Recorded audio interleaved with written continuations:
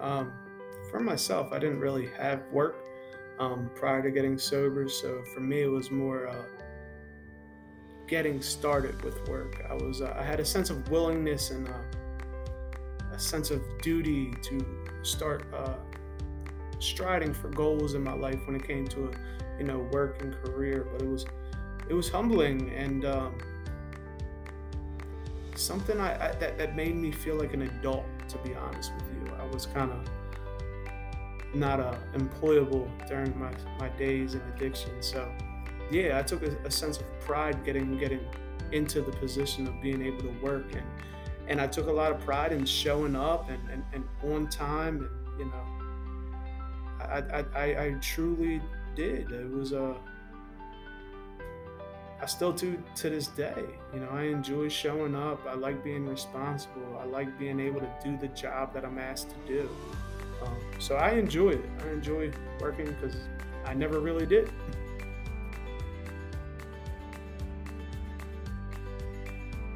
I was a little afraid.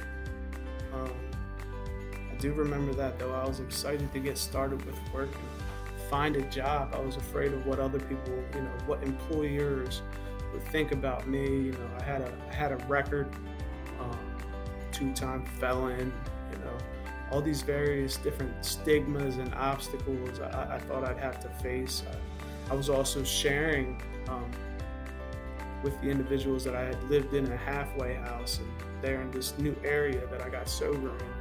And I was nervous. I was nervous. I was full of fear. I wasn't sure if I could, it would work.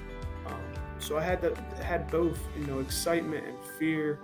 Um, you know, but but faith prevailed, and I was able to get a job. And you know, they uh they took a shot and a gamble with me. I remember the individual who hired me. He said, "Listen, we don't really hire felons like that, to be honest with you." And I appreciated it, uh, in flat out honesty. Um, he said, "But we're gonna we're gonna take a gamble with you. You seem like a decent guy." He also said you were big, so maybe you can carry some lumber around.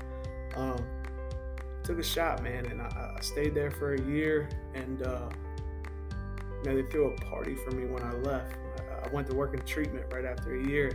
Threw a party for me, and it was, a, you know, it was amazing. It was a rewarding feeling to be acknowledged as a good employee. Is something I've never experienced get the honor and privilege to experience what it's like to be a good employee every day, especially with RCA.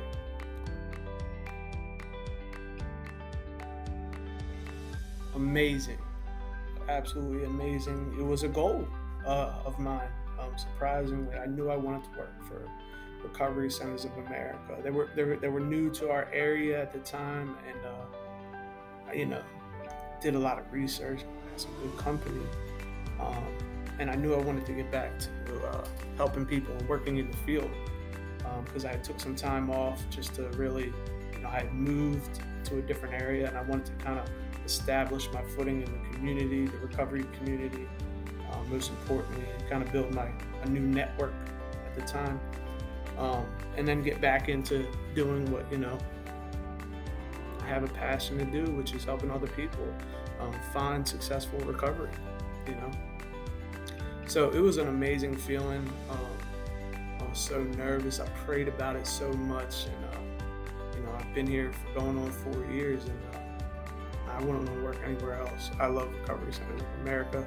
I believe in the vision, um, not just the vision, but you know, Recovery Centers of America believe in my vision as well. Um, so to invest myself in a company such as RCA and to be equally as invested in is something I've never experienced in my life, and I'll uh, I hold it near and dear to my heart as far as work is concerned.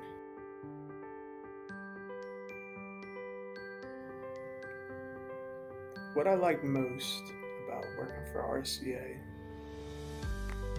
is that the work that I do and that my coworkers, everyone on board does on a daily basis has such an overall impact on the lives of, you know, um, people struggling with alcoholism and drug addiction. It's, it's, it's rewarding work. It's uh, even in a hard day. It's like that. That reward in itself is its own.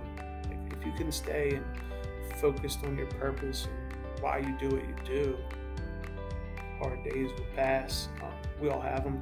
Um, but I love, I love it. So the, the, the vision, the purpose, the the outcome of the work that we do at Recovery Centers of America is the most rewarding thing.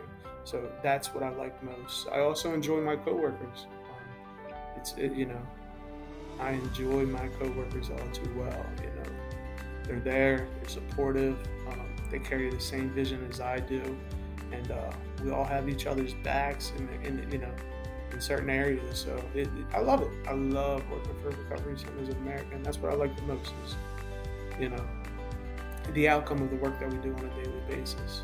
That's a reward in itself. Do it. Do it. Um, coming from another member of the recovery community, um, it's, it's, rewarding. It's rewarding work. Um, make sure you're on top of your own recovery um, because your work isn't your recovery. I would, I would, I would establish that with them as well. Um, but do it if you're already considering in your consciousness or your gut, your higher power is kind of speaking to you in that mannerism. Act on it. You know, um, it's rewarding work. It's it's it's it's definitely worth it. You know, I don't see myself working anywhere else but Recovery Centers of America.